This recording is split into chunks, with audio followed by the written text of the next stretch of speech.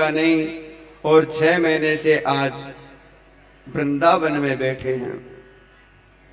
एक दिन प्रभु, उद्धव जी जब प्रभु के पास आने लगे हैं तो माँ यशोदा कह रही है, उद्धव, मेरे लाला को एक संदेशा कह देना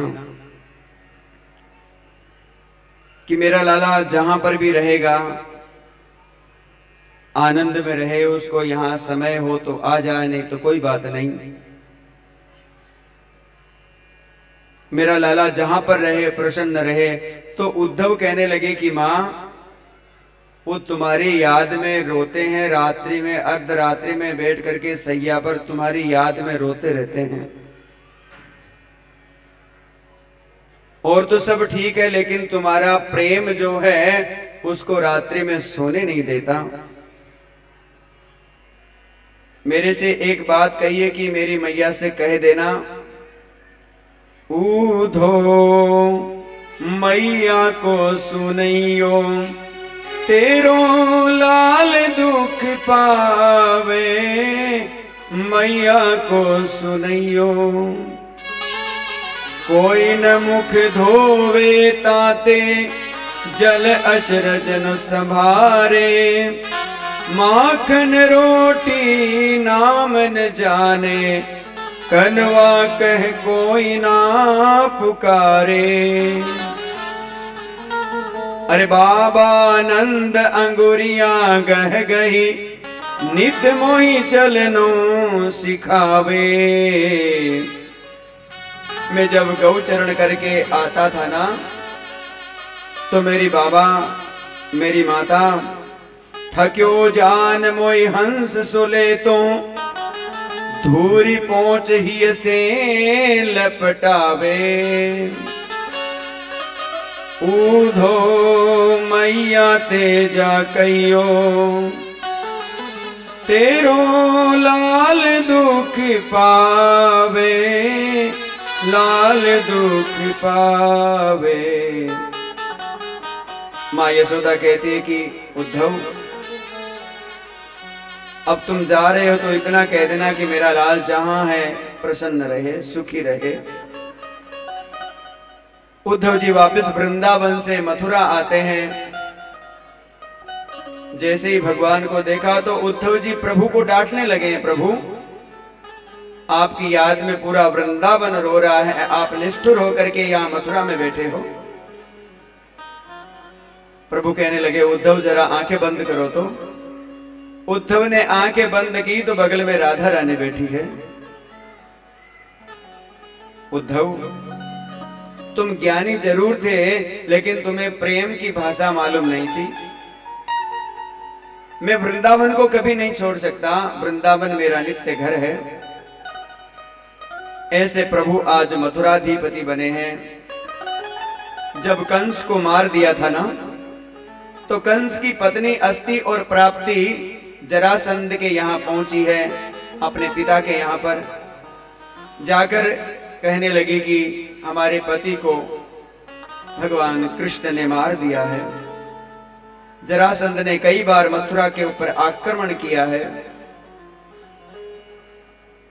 पंद्रह बार, सोलह बार, सत्रह बार आक्रमण कर दिया तो एक दिन प्रभु अपने भाई बलराम जी से कहने लगे, बलराम भैया जब से अपन इस मथुरा नगरी में आए हैं, तब से ये जरासंध चैन से बैठने नहीं देता। सत्रह बार अक्षरोणी सेना लेकर के मथुरा पर आक्रमण किया है। प्रभु, सब सैनिकों को मार देते थे और जरासंध को छोड़ देते थे। महाराज, आज जरासंध ने कई ब्राह्मणों को पाठ करने के लिए बिठा दिया, बोले, मेरे लिए मंगल कामना करना कि अब की बार मुझे विजय प्राप्त हो जाए। अगर विजय प्राप्त नहीं होगी तो मैं आते से ही सब ब्राह्मणों को सूली पे लटका दूँगा। आज सभी ब्राह्मण चिंता करने लगे, प्रभु, आप रक्षा करना हमारी। जरासंध जैसे अक्षरोणी सेना लेकर के मथुरा में आक्रमण करने लगा भगवान ने विश्वकर्मा को आदेश दे दिया कि समुद्र में हमारी द्वारिका का निर्माण कर दो। रातों रात विश्वकर्मा जी ने समुद्र के अंदर में द्वारिका का निर्माण किया है। इधर जरासंध ने आक्रमण किया, साथ में कालयवन नाम का एक असुर लेकर के आया है। कालयवन को एक वरदान था कि उसको यदुकुल के अंदर में लिए, कोई भी व्यक्ति जन्म लिया हुआ मार नहीं सकता था। प्रभु भी यदुकुल में ही तो अवतार लिए ना। तो आज काल यवन को साथ में लेकर के आए, भगवान ने पूरी सेना को मार दिया। जब काल यवन भगवान के सामने आने लगा तो भगवान आज युद्ध के मैदान को छोड़ करके दौड़ने लगे। तो आज प्रभु का एक नाम पड़ गया, रणछोड़। बोले, रणछोड़ भगवान की। बलराम जी कहने लगे, अरे कन्हैया, ये क्या कर रहा है? अपन को लोग रण छोड़ कहेंगे, क्या कहेंगे? कितना अच्छा थोड़ी लगेगा। भगवान कहते हैं कि माखन चोर कहते ही हैं, चित चोर कहते ही हैं रण छोड़ और सही। श्री हरि भगवान की। काल यवन के पीछे दौड़ते हुए प्रभु आगे बढ़े।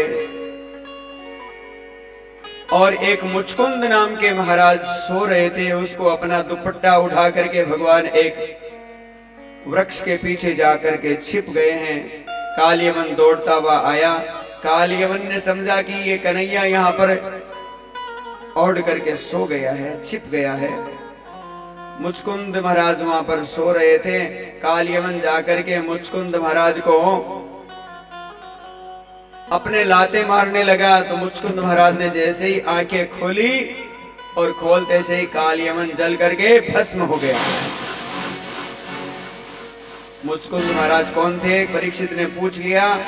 एक बार देवताओं की सहायता की थी। तो देवताओं से वरदान मांगा उनकी जीत होने पर। तो देवताओं ने कहा मुचकुंद कुछ वरदान मांगो। तो मुचकुंद ने एक ही बात कही कि, देवताओं, अब मैं बहुत थक गया हूँ, मैं सोना चाहता हूँ। और मुझे कोई जगाएगा, मेरे सामने जो भी आएगा, वो जल करके भस्म हो जाएगा। तो देवताओं ने कह दिया तो देखो भाई, सोने बराबर सुख नहीं, रोने बराबर दुख नहीं। मुचकुंद महाराज सो गए तो भगवान ने देखा है सोए सोए पूरा जमाना चला जाएगा। तो भगवान ने इस प्रकार से मुचकुंद को भी जगा दिया और समस्त मथुरा वासियों को प्रभु ने योग माया से रातों रात द्वारिका के अंदर में सुला दिया। आज प्रभु द्वारिका के अंदर पदार्पण हुआ है। समस्त मथुरावासी द्वारिका के अंदर आए हैं। प्रातः काल हुआ, सब लोग जगे। कहने लगे, ये कौन सा नगर है? इसका द्वार कहाँ है? इसका द्वार कहाँ है? तो उस नगरी का नाम पड़ गया द्वारिका। बोले, द्वारिकाधीश भगवान की आज प्रभु द्वारिकाधीश बने। भगवान ने देखा कि अब हम, हमारी अवस्था 25 वर्ष की हो गई है। अब हमारा विवाह होना चाहिए। और विवाह हो कैसे? अभी बड़े भाई साहब तो बैठे हैं। बलराम जी बैठे हैं ना? तो महाराज, एक रेवत नाम के राजा थे सत्य युग में। उन रेवत महाराज के एक कन्या थी, जिसका नाम था रेवती। उसकी लंबाई इतनी बढ़ गई थी, बीस फीट लंबी थी वो। कितनी? बीस। तो नारद जी से पूछा नारद जी इस हमारी रेवती के कोई वर है क्या लायक? तो नारद जी ने कहा कि, द्वारिका में वसुदेव जी का बड़ा लड़का है, जिसका नाम है बलराम। उसके साथ में आप विवाह कर दो। तो रेवती ने पूछा, महाराज, इसकी लंबाई कितनी? बोले, लंबाई तो उसकी छह फुट ही है। तो महाराज, ये जोड़ी कैसे जमेगी? बोले, बलराम जी जो हैं, इसके मस्तक पे हाथ रखेंगे ना तो जोड़ी बराबर की हो जाएगी। महाराज रेवत नाम के राजा द्वारिका में गए, वसुदेव जी से मिले। वसुदेव जी से बात करके कहने लगे कि आपके बड़े बेटे बलराम के साथ में हमारी कन्या का विवाह करना है। तो वसुदेव जी कहने लगे, ये जोड़ी कैसे जमेगी? तुम्हारी कन्या तो 20 फीट की है, हमारा बलराम 6 फीट का है। तो बोले, आप बुलाओ तो सही। बलराम जी को बुलाया और कहा कि, बलराम, इस कन्या के मस्तक पे हाथ रखो। तो बलराम जी ने कोई सीढ़ी वीडी लगाई होगी। लगा करके जैसे कन्या के मस्तक पे हाथ रखा तो दोनों की जोड़ी बराबर हो गई।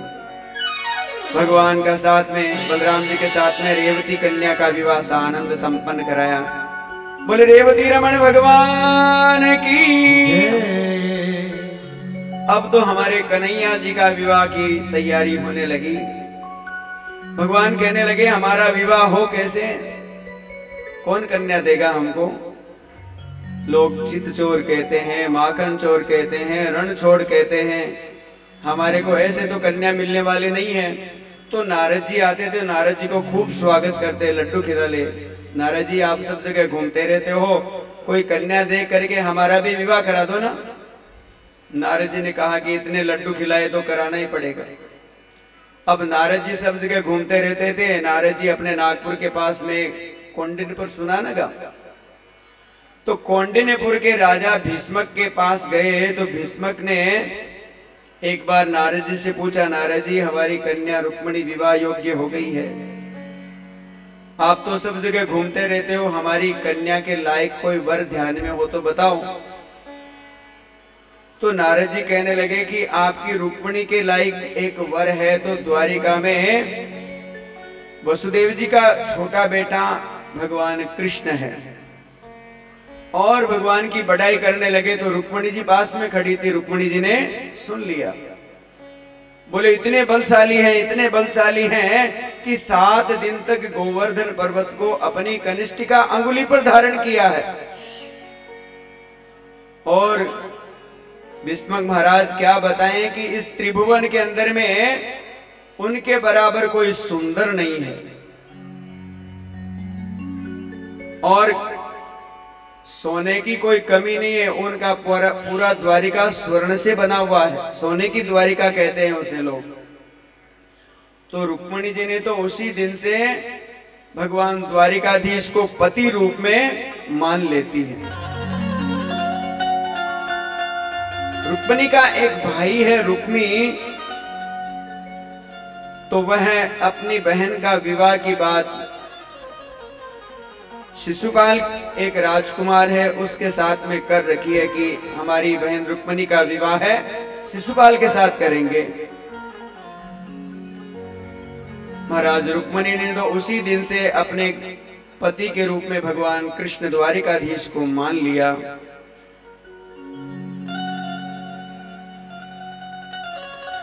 रुक्मणी जी के घर में एक ब्राह्मण देवता आया करते थे। उन ब्राह्मण से रुक्मणी कहने लगी कि, ब्राह्मण देवता, आप एक बात बताओ। मैंने पति रूप में भगवान कृष्ण को मान लिया है और मेरा भाई जो है, मेरे विवाह की बात शिशुपाल के साथ में कर रहा है। तो मैं क्या करूँ? तो उस ब्राह्मण देवता ने कहा कि आप एक पत्र लिख दो, वो पत्र मैं पहुँचा दूँगा द्वारिकाधीश के पास। तो आज रुक्मणी जी ने बहुत सुंदर पत्र लिखा है। उस पत्र में सात बातें रुक्मणी जी ने लिखी है। देखो, आजकल भाई किसी को कहते हैं कि पत्र लिख दो तो शायद पत्र लिखना ही भूल गए। भूल गए ना? आजकल तो तुरंत ही फ़ोन पे बात हो जाती है, मोबाइल पे, व्हाट्सएप देख लेते हैं। तो आज रुक्मणी जी ने सुंदर पत्र लिखा सोने की शाही से। कि श्रुत्वा गुणान भुवन सुंदर चंद्रतांते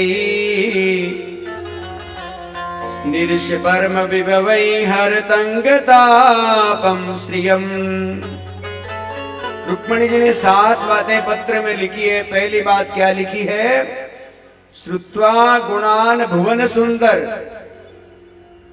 हे कृष्ण, मैंने आपको देखा नहीं है, लेकिन कानों से सुना है कि आपके समान इस पृथ्वी के ऊपर में कोई सुंदर नहीं है। तो देखो, कन्या क्या चाहती है? कि मेरा पति चाहे एक रुपया नहीं कमाए, लेकिन सुंदर होना चाहिए। कन्या क्या चाहती है? मेरा पति सुंदर होना। तो अपनी कन्याओं को कोई काले कलूटे को मत दिया करो। श्री हरि भगवान की। माँ क्या चाहती है कि मेरा दामाद जो है पैसे वाला होना चाहे काला या गोरा, रंग तो दो ही होते हैं, या तो काला होगा या गोरा होगा। लेकिन मेरा जमाई है, मेरा दामाद है, वो पैसे वाला होना चाहिए। पिता क्या चाहते हैं कि मेरा दामाद पढ़ा लिखा होना चाहिए? नागपुर छोड़ करके बंबई चला जाए तो भी कमा के खा लेगा। तो पिता चाहते हैं कि मेरा दामाद पढ़ा लिखा होना इंडिया छोड़कर अमेरिका ही चला जाएगा तो कुछ न कुछ काम कर लेगा। श्रुत्वा गुणान भुवन सुंदर सन्नतांगतै निरवश्य परम विभवै हरतंगतापम श्रियम। आज प्रभु रुक्मणी जी दूसरे संबोधन में लिख रही है कि हे कृष्ण मैंने तो आपको पति रूप में मान लिया है। चाहे मेरे को हज़ार जन्म लेना पड़े, लेकिन मैं पति रूप में आपको ही वर्ण करूँगी। तीसरे संबोधन में लिख रही है कि मैं आग में जल जाऊँगी, कुएँ में कूद जाऊँगी, समुद्र में कूद जाऊँगी, लेकिन विवाह करूँगी तो केवल आपसे करूँगी। चौथे संबोधन में लिख रही है, हे कृष्ण मैंने आज तक कोई पुण्य किया है, तुलसी सेचा है, ब्राह्मणों की सेवा की है, उसके फल स्वरूप आप मुझे पति रूप में प्राप्त हो जाना। अंत संबोधन में लिख रही है कि, हे कृष्ण, किसी शेर को शिकार मिलने वाला गीदड़ लोग नहीं ले जाए।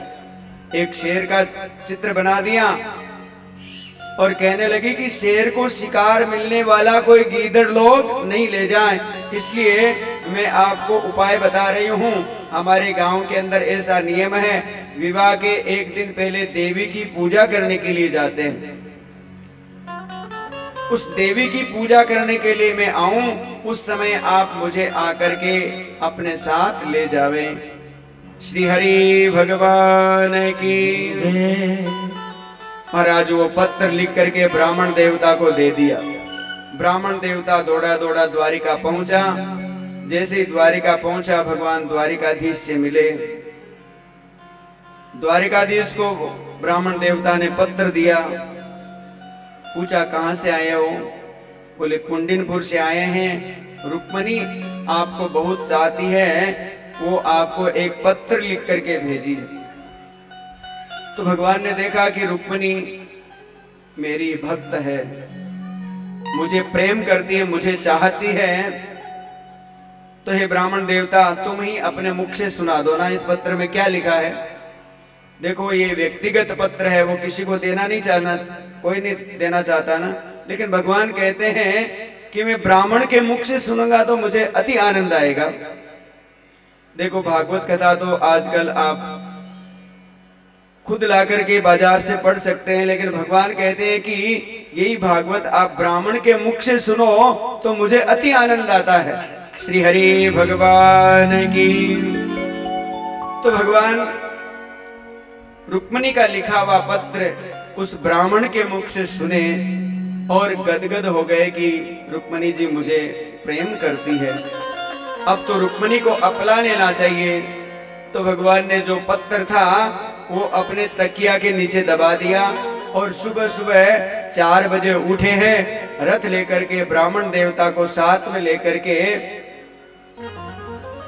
कुंडिनपुर की ओर प्रभु पदार्पण कर जाते हैं।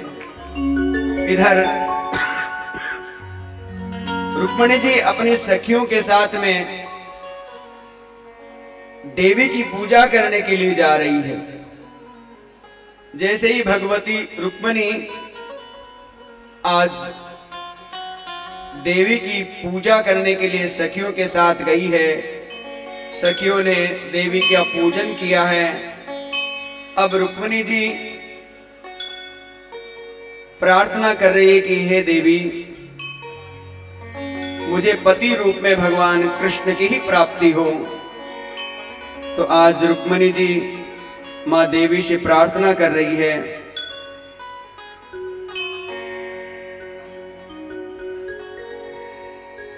जैसी प्रार्थना की है भगवती देवी के, गले से एक हार अपने आप टूट करके नीचे गिर पड़ा। सखिया कहने लगी कि, रुक्मणी, ये शुभ संकेत हुआ है। रुक्मणी जी, अत्यंत आनंदित हुई है। इतने में ब्राह्मण देवता आए हैं और रुक्मणी जी से कहने लगे कि रुक्मणी जी, थोड़ी देर के अंदर भगवान द्वारिकाधीश आकर के तुम्हें ले जाएँगे। महाराज, रुक्मणी को शुभ संकेत हुआ है। रुक्मणी जी की बाई आँख फरुकने लगी। देखो, आदमी की जीवनी आँख और महिलाओं की दाई आँख फरुके तो ये शुभ संकेत बताया है। लेकिन ज़्यादा ही फरुके तो डॉक्टर के पास चले जाना। ऐसा मत कहना कि शुभ संकेत हो रहा थोड़ी फरुके जब। तो आज रुक्मणी को शुभ संकेत हुआ है। इतने में ब्राह्मण देवता आकर के रुक्मणी जी को शुभ संदेश देते हैं। कि अब थोड़े ही समय के अंदर में द्वारिकाधीश आकर के तुम्हें ले जाएँगे। रुक्मणी जी देवी के मंदिर के सामने बैठ करके ध्यान कर रही है। सखियाँ भगवान का मंगल गान कर रही है। गोविंद मेरो है, गोपाल मेरो है, गोविंद मेरो है।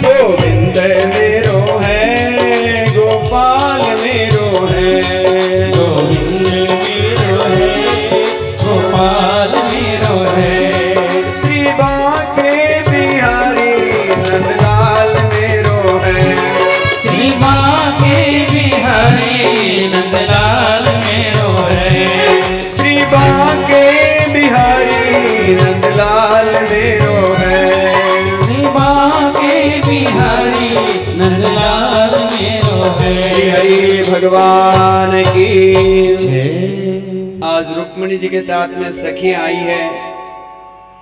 रुक्मणी को शुभ संकेत का पता लगा तो आनंदित हुई है। शिशुपाल जी दूल्हा बने घूम रहे हैं और इधर भगवान द्वारिका के अंदर में रोज उठ करके अपने माता पिता को प्रणाम किया करते थे। आज केवल बलराम जी आए हैं, कन्हैया नहीं आए। वसुदेव जी ने पूछा, बलराम, आज लाला नहीं आया? बोले, अभी पता लगाता हूँ। तो आज बलराम जी चारों तरफ़ देखे, द्वारपाल से पूछा, द्वारपाल ने कहा कि आज सुबह सुबह चार बजे ही कन्हैया उठ करके पता नहीं कहाँ गए हैं? इतना कह करके गए कि भैया पूछे तो इतना कह देना कि मेरे तकिया के नीचे में एक पत्र पड़ा। है बलराम जी दौड़े दौड़े गए, तकिया के नीचे से पत्र लिया, पढ़ा। वसुदेव जी को कहने लगे कि देखो, पिताजी, कृष्ण तो विवाह करने के लिए गया कुंडिनपुर। तो वसुदेव जी कहने लगे कि विदर्भ के राजा विस्मक ने अपनी कन्या रुक्मणी का विवाह माना है। हमारे भी पत्रिका आई है। मैं जाता या तू जाता या कृष्ण चला गया अच्छा हुआ, एक न एक को जाना था। तो बलराम जी कहने लगे, वो विवाह में सम्मिलित होने के लिए नहीं गए, वो तो खुद विवाह करने के लिए गए हैं। महाराज, बलराम जी ने देखा, वहाँ पर युद्ध होगा बड़े बड़े राजा महाराजा लोग आएँगे। तो बलराम जी अपनी सेना लेकर के कुंडिनपुर की ओर आ रहे हैं।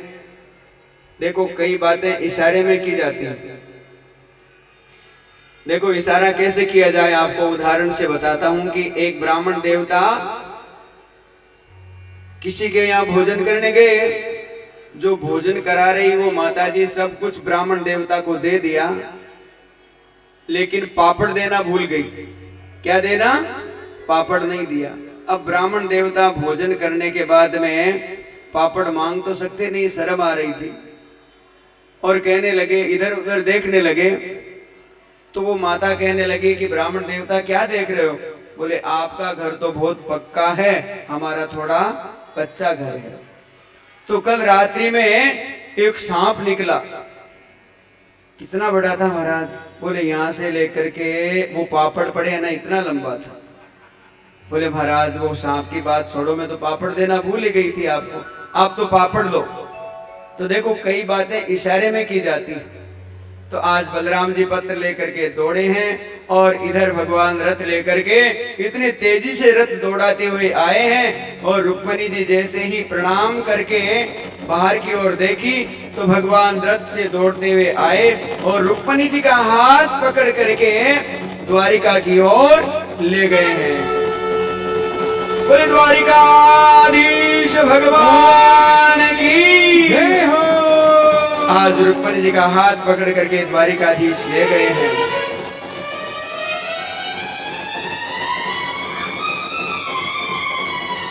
सब सैनिक लोग देख रहे हैं। ले गयो ले गयो ले गयो ले गयो। अरे शिशुपाल तो दूल्हा बनकर रह गयो रह गयो रह गयो रह गयो। अरे शिशुपाल दूल्हा बनते घूमते ही रह गया और द्वारिकाधीश आए, रुक्मणी जी को साथ में लेकर के दौड़ पड़े। बलराम जी मार्ग में मिले हैं। बलराम जी ने कहा कि कृष्ण बता के नहीं आया? बोले, बता के तो आए था पत्र बताया था ना कहाँ पड़ा है? तभी तो आप यहाँ पहुँचे हैं। बलराम जी आकर के रुक्मणी जी के भाई के साथ में युद्ध किया है। रुक्मणी अपने भाई को समझाती है और भगवान द्वारिकाधीश आज द्वारिका में रुक्मणी को लेकर के आते हैं। और भगवान द्वारिकाधीश का प्रथम विवाह हो रहा है। तो वसुदेव जी ने अपने द्वारिकाधीश भगवान कृष्ण का सुंदर श्रृंगार किया है और फिर रुक्मणी जी का श्रृंगार होगा। तो अभी द्वारिकाधीश का अपन श्रृंगार करें, फिर भगवान का रथ पूरी द्वारिका में घूमेगा। वो तेरा किसने किया? सिंगार सामने तेरा किसने किया?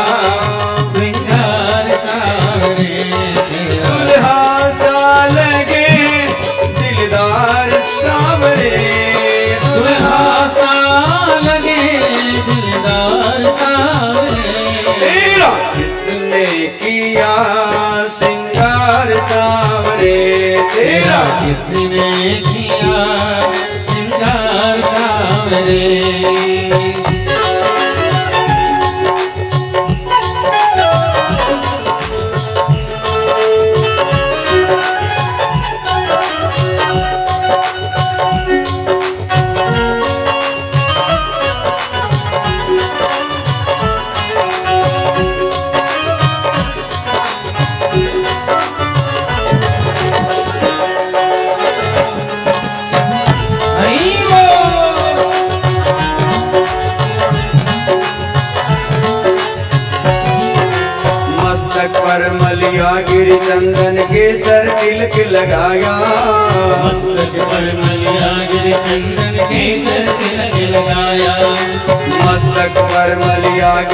चंदन के सर तिलक लगाया। चंदन केसर तिलक लगाया। मोर मुकुट कानों में कुंडल इत्र बहुत बरसाया। और मुकुट कानों में कुंडल इत्र बहुत बरसाया। अरे मोर मुकुट कानों में कुंडल इत्र बहुत बरसाया। और मुकुट कानों में कुंडल इत्र बहुत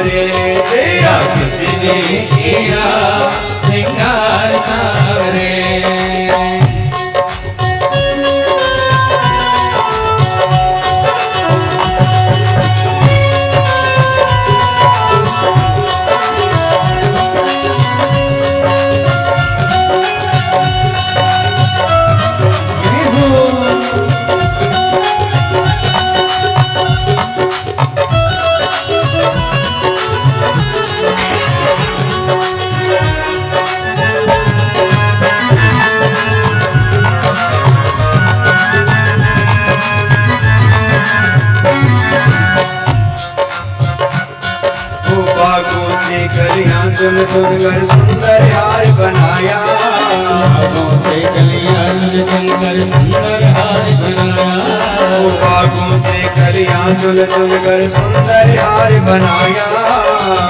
से चुन कर सुंदर हार बनाया रहे सलामत हाथ सदा वो जिसने तुम्हें सजाया। रहे सलामत हाथ सदा हो जिसने तुम्हें सजाया। वो रहे सलामत हाथ सदा वो जिसने तुम्हें सजाया। रहे सलामत हाथ सदा हो जिसने तुम्हें सजाया।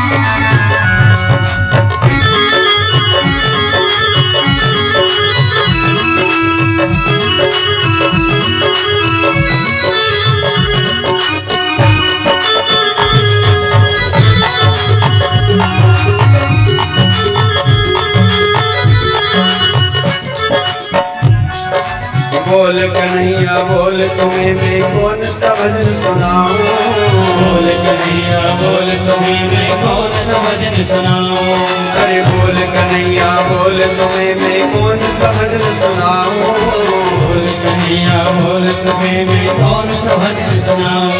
अरे ऐसा कोई राग बता दे तू नाचे में गाओ। कोई राग बता दे तू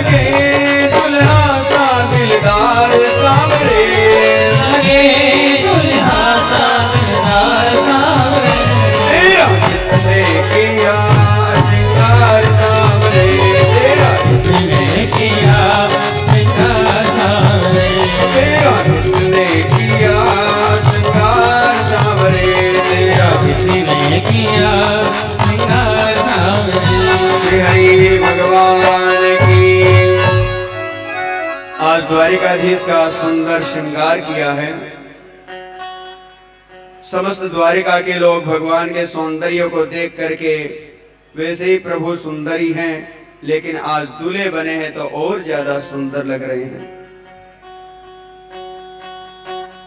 भगवती रुक्मणी का सुंदर श्रृंगार किया है।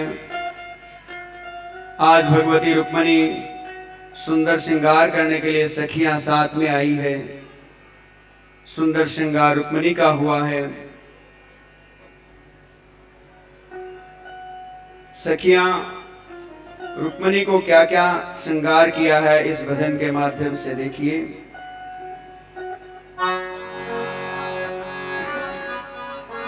आओ मेरी सखियों, मुझे मेहंदी लगा दो। आओ मेरी सखियों, मुझे मेहंदी लगा दो। मेहंदी लगा दो, मुझे ऐसी सजा दो। मेहंदी लगा दो सजा मुझे श्याम सुंदर की दुल्हन बना मुझे श्याम सुंदर की दुल्हन बना दो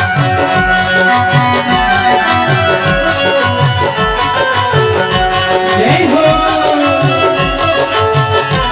देखिए, अभी भगवान का विवाह होने वाला है ना? अपने घर में विवाह होते हैं तो कैसे ठुमक ठुमक करके नाचते हैं ना? तो अभी भगवान आ जाए, फिर अपन भजन गाए तो सबको नाचना है। अभी जिसको नाच नहीं आता हो तो मैं सिखा दूँ आपको। आता है? दोनों हाथ यूँ करो और ऐसे ऐसे करके एक बार थोड़ी प्रैक्टिस कर लो रनिंग कर लो। फिर आप भगवान आ जाएँगे तो सबको खड़े होकर नाचना ही है ना? आओ मेरी सखियों, मुझे मेहंदी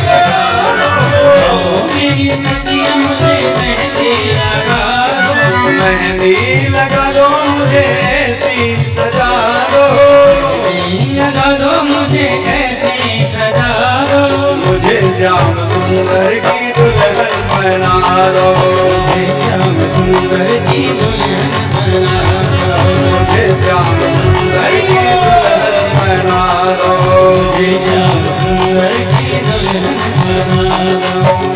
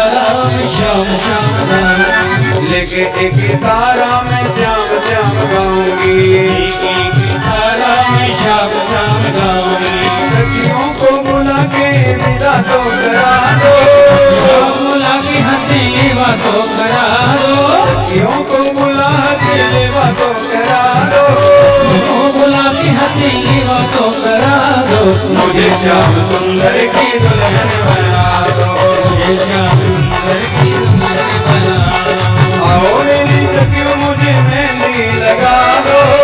मेरी सखियो, मुझे मेहंदी लगा दो। मेहंदी लगा दो, मुझे ऐसी सजा।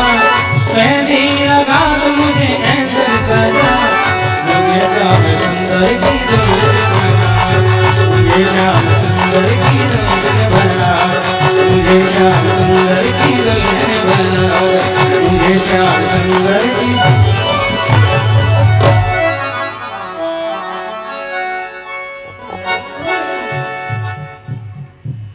बोले रुक्मणी वल्लभ भगवान की, द्वारिकाधीश की।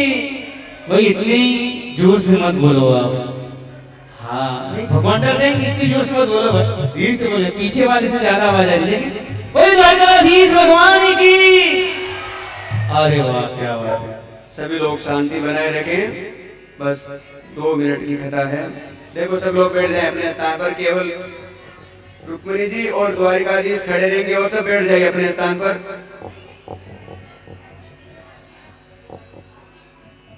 देखो, स्टेज पर भी जो हैं, सब अपने स्थान पर बैठ जाएँ। केवल द्वारिकाधीश, भगवान और रुक्मणी जी खड़े रहेंगे।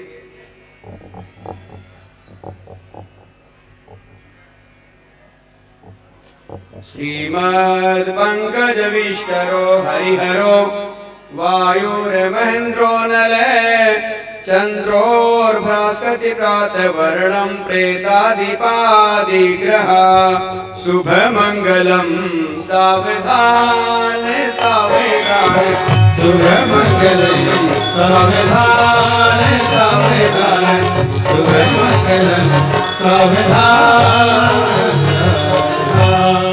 कान्तस्ते पुरुषोत्तम फणिपति सय्यासनं वाहनम् वेदात्मा विहगेश्वरो जवनिका माया जगन्मोहिनी शुभमङ्गलम्। सावधान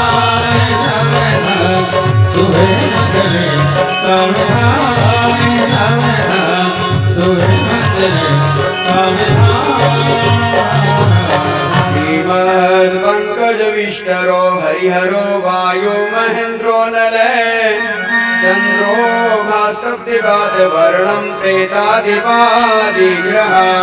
शुभमङ्गलम्। सावधान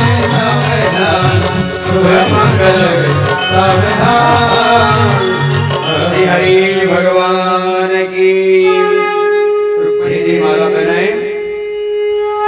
मंगलम भगवान विष्णु मंगलम गरुड़ध्वज। मंगलम पुंडरीकाक्ष मंगलाय स्तनो हरि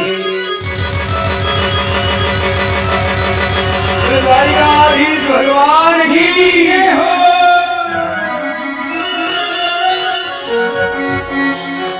अब देखो भाई, जो ये भगवान के पीले चावल हैं जिसके घर में लड़का लड़की का विवाह नहीं हो रहा विवाह योग्य हो गए हैं तो भगवान के ये अक्षत लेकर के जाना, अपने घर में रखना। भगवान की कृपा होगी तो शीघ्र ही उनका विवाह हो जाएगा। और अब देखो, अपने घर में विवाह हो तो कैसे नाचते कमर मटका मटका के। तो जो भगवान के विवाह में थोड़ी सी कमर मटका देगा तो दुनिया के आगे उसको नाचना नहीं पड़ेगा। तो देखो एक दो भजन गाएँगे, सब लोग नाचना फिर आरती करेंगे और फिर प्रसाद लेकर आप यथा स्थान जाएँगे। वो आज मेरी श्याम की शादी है, आज मेरी श्याम की शादी है।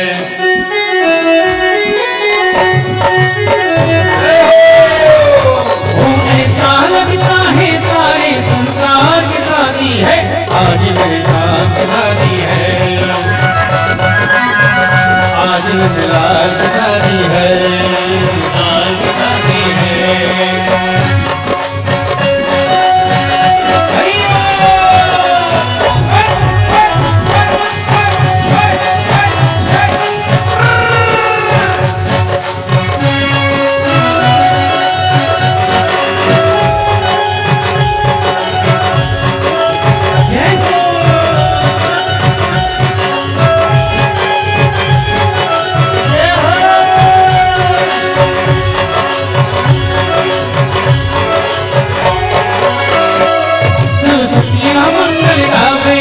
欢迎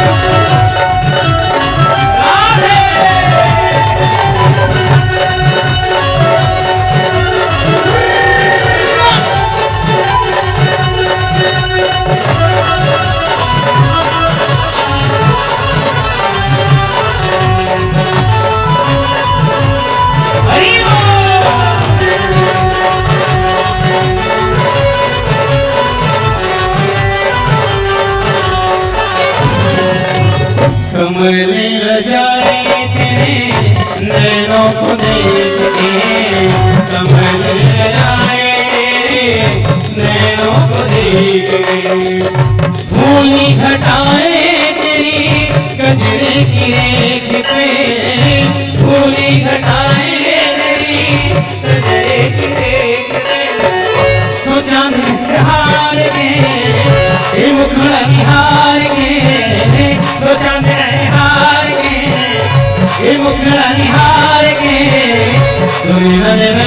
सुने न सुने न सरकार की कटोरी कटार सरकार कटोरी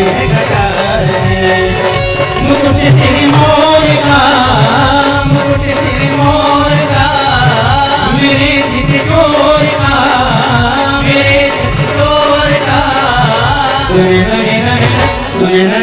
सुने सरकार के कटल कटार से सुने सरकार के कटल माता बाकी हो गई माता बन गया मैं माता की बाकी बन गई रसिया की छलिया। की सजिया की छैया की रसिया की रसिया की छलिया की सजिया की छैया की रसिया की छैया की की बाकी बन गई तेरा की बाकी बन गई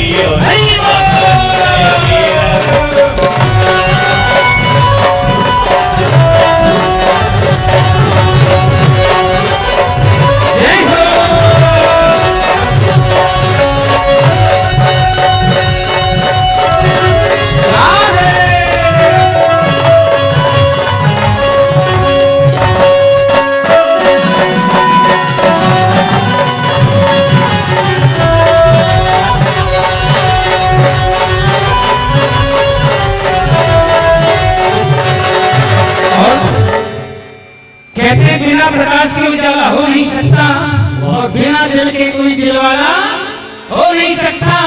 और जो न बजाए मेरी शाम के भजनों में ताली, वो शाम का दीवाना हो नहीं सकता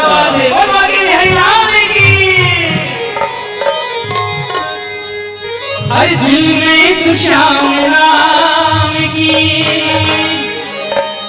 दिल में तू शाम नाम की। जला आएगा आएगा मेरा सावरा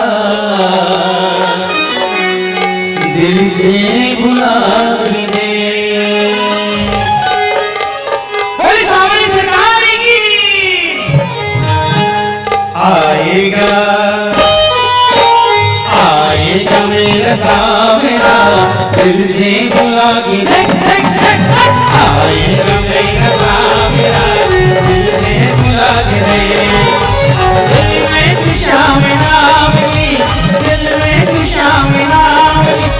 जोगी जला के दे आएगा आएगा आएगा मेरा सावरा दिल से बुला के आएगा मेरा दिल से के दे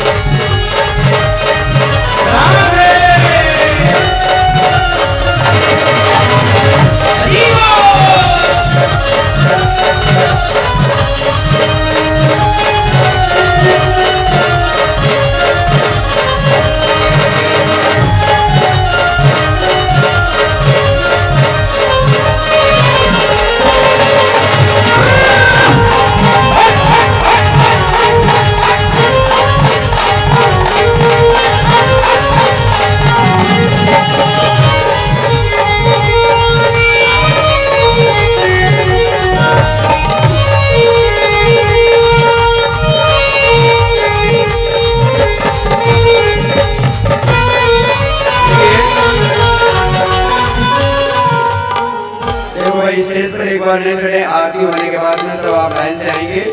एक बार आरती होए तब तक स्टेज पर ना आए। आइए। अभी आरती हो रही है आरती के बाद में सब लोग आ जाएँगे। अभी आरती करेंगे इसके बाद और जिनको धूम मचाना है बारात में आज धूम मचाएँगे कोई बात नहीं। ऐसे ही भाव के साथ आरती करते हैं। चंद्रमा मनसो जात चक्षु सूर्यो अजायतः श्रोताद्वायस्य प्राणस्य। मुखादग्निरजायते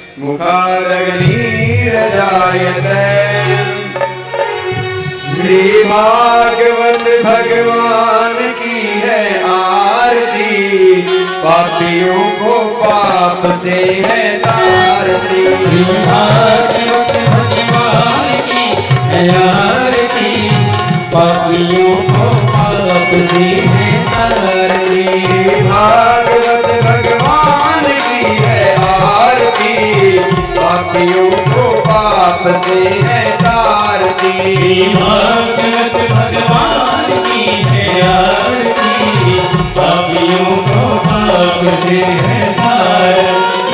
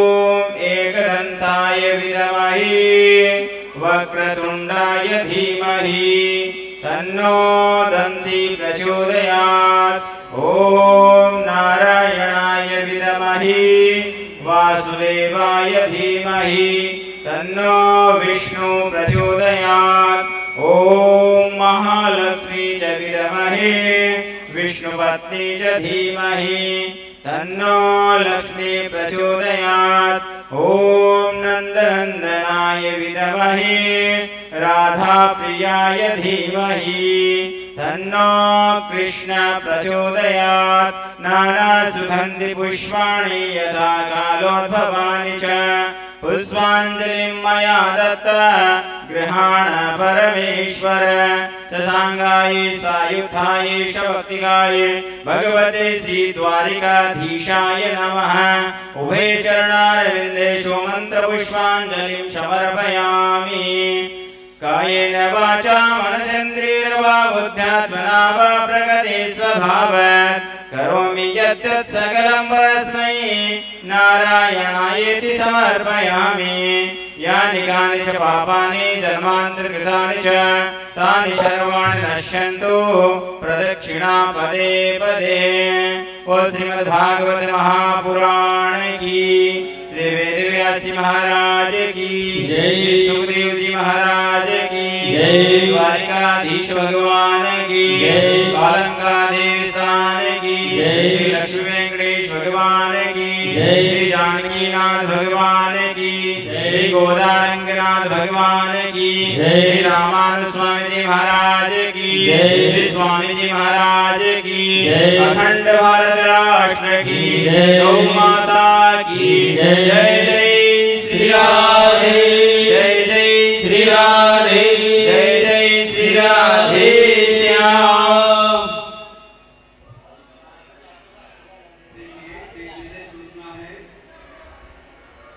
देखो इन छह दिनों में किसी ने समय से भागवत नहीं सुन पाए हैं तो कल भागवत की पूर्णावती है। जो छह दिनों में बराबर नहीं सुन, सुन सके कल पूर्णावती के समय जो भागवत को श्रवण कर लेता उसको पूरा पूरा फल मिलता है। इसलिए कल समय से तीन बजे से पधार करके आप पूरी भागवत का फल प्राप्त करें। और कल भागवती पूर्णावती के बाद में आगे तीन दिन का नानी बाई का मायरा रहेगा तो आप सब लोग उस मायरा का भी आनंद लेंगे और आज की तरह भगवान का प्रसाद लेकर के आप अपने यथास्थान पर करें। और एक और सूचना महाराष्ट्र की भागवत श्री धाम वृंदावन में होने जा रही है। 16 फरवरी से 22 फरवरी तक जिसमें ब्रज चौरासी कोष की यात्रा भी वाहन के द्वारा लगवाई जाएगी। जो भक्त भगवान के धाम धाम वृंदावन में भागवत श्रवण करना चाहते हैं और ब्रज चौरासी कोष की यात्रा करना चाहते हैं, वाहन के द्वारा, वो पूज्य महाराष्ट्र से संपर्क करके और अपनी बुकिंग करवा लें। सोलह फरवरी से प्रारंभ होगी। बोले बाकी हरिलाल की जय। हेलो।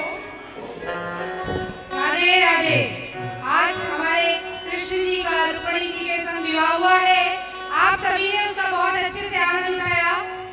हमारे आज की प्रसादी के यजमान है विवाह के उपलक्ष्य में हमें उपहार स्वरूप प्रसादी मिली है, जो श्रीमती ज्योति भूपेश जी वर्मा के द्वारा वितरित की जा रही है।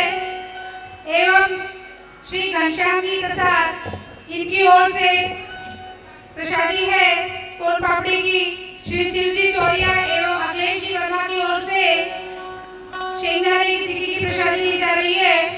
एवं श्रीमती सरिता पवन जी चौरिया की ओर से। ऑरेंज संतरे की दी जा रही है। आप सभी भक्तजनों से अनुरोध है कि कृपया शांति बनाए रखें एवं प्रसाद ग्रहण करें और प्रसाद लेकर ही जाएँ। एक एक करके आप सभी लोग मंच में चढ़े। एक एक करके कोई भीड़ न लगाए। आराम से आए, सभी को अवसर मिलेगा। सभी को दर्शन लाभ मिलेगा। आप बिल्कुल आराम से आए उतावले ना हो।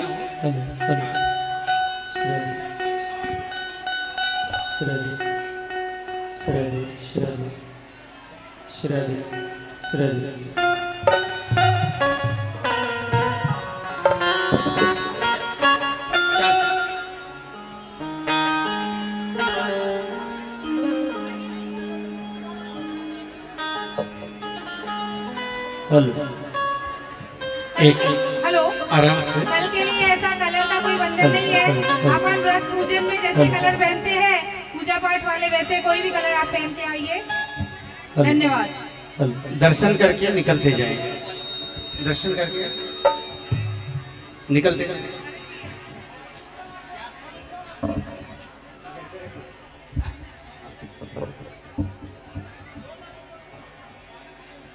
Shraddha.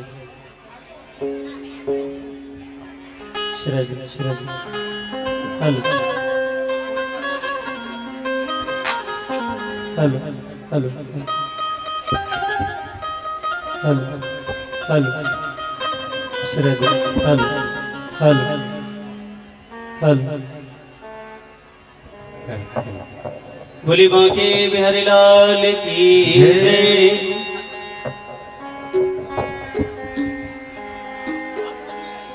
हेलो। हेलो।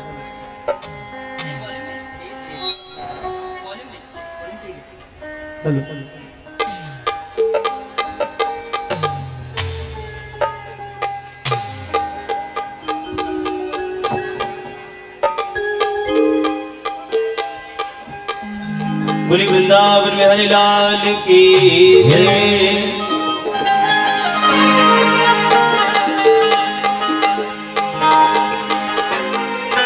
जय आराम से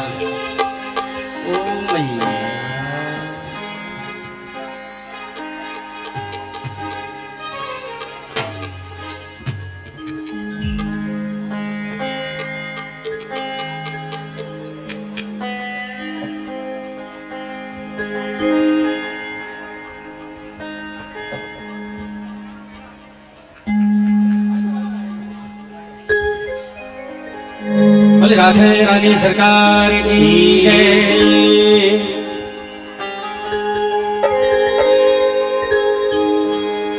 बोली वृंदावन बिहारी की जय।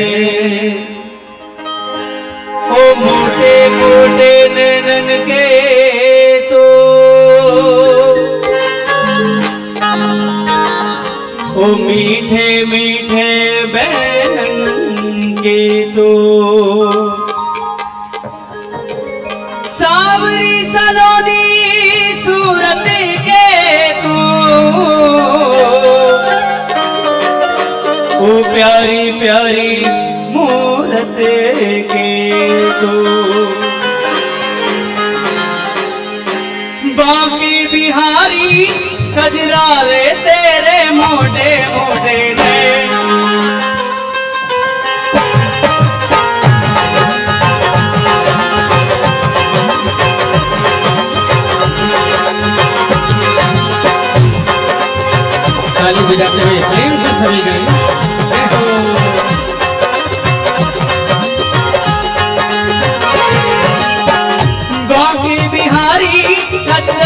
तेरे मोटे मोटे ने हाय नज़र ना लग जाए। नज़र ना लग जाए। नज़र ना लग जाए। बाकी बिहारी कचरा रे तेरे मोटे मोटे ने हाय नज़र ना लग जाए। नज़र लग जाए नज़र ना लग जाए।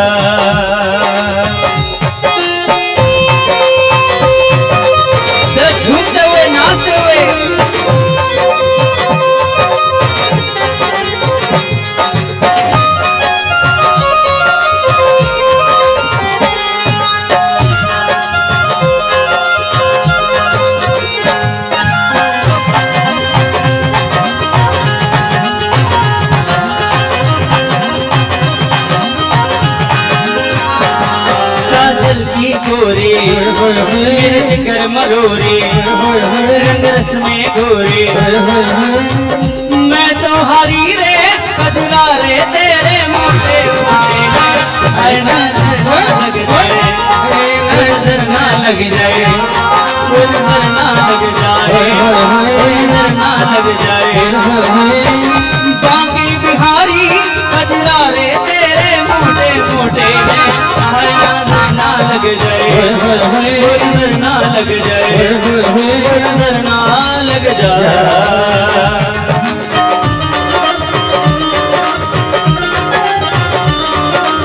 सभी झूमते हुए ताली बजाते हुए नृत्य करेंगे।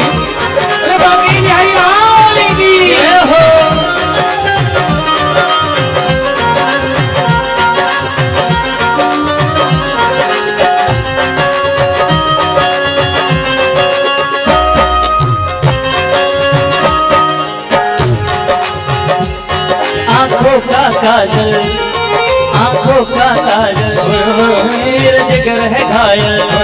मेरा जिगर है घायल। तेरे प्यार में पागल। तेरे प्यार में पागल। करदारी रे कजरा रे तेरे मुँह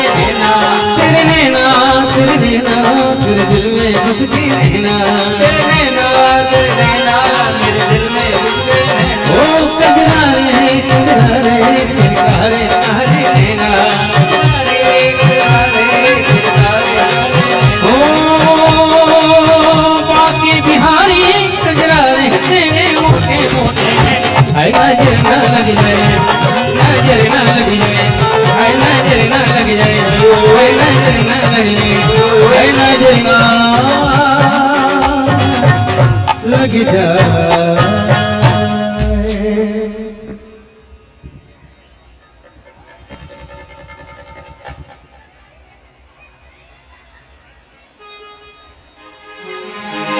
बोली राधा रानी सरकार की जय।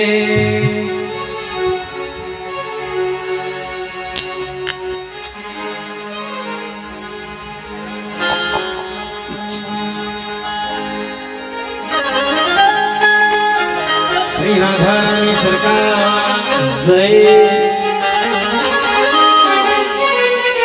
मेरा कहा गुलाब को किशोरी मेरी कुसुम कली मेरो कहा गुलाब फूल किशोरी मेरी कुसुम करी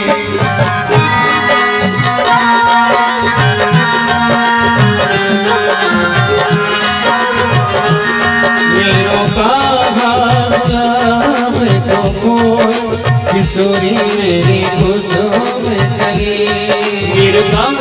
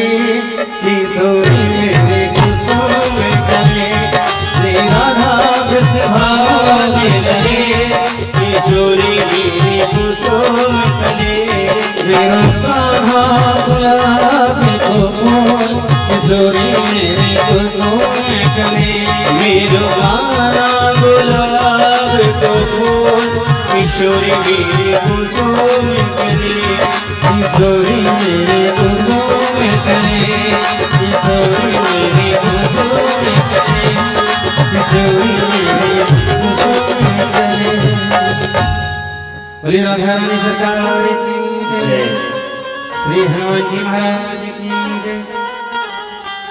और कल विश्राम दिवस की कथा कल सुदामा तीर्थ का वर्णन और परिचित मोक्ष आदि कथा महर्षि के द्वारा श्रवण कराई जाएगी।